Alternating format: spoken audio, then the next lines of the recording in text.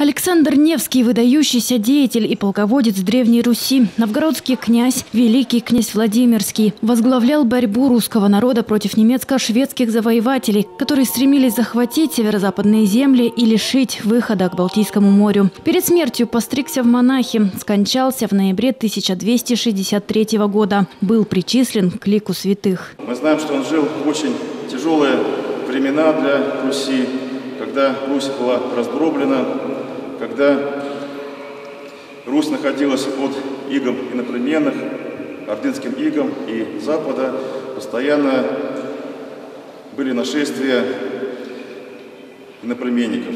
И вот святой благоверный князь Александр Невский, он защищал Русь не только силой оружия, но прежде всего молитвой, а самое главное, своей любовью к Богу и своим смирением. Православная церковь свято чтит память благоверного князя Александра Невского. По ее инициативе с 12 июня по 14 августа запущен проект «Принесение мощей в города России и Белоруссии». Искитим – одна из остановок Ковчега. В Никольском храме он задержался на один день. Как отметили в Искитимской епархии, увидеть мощи великого князя смогут жители Искитимского, Маслянинского, Черепановского и Сузунского районов.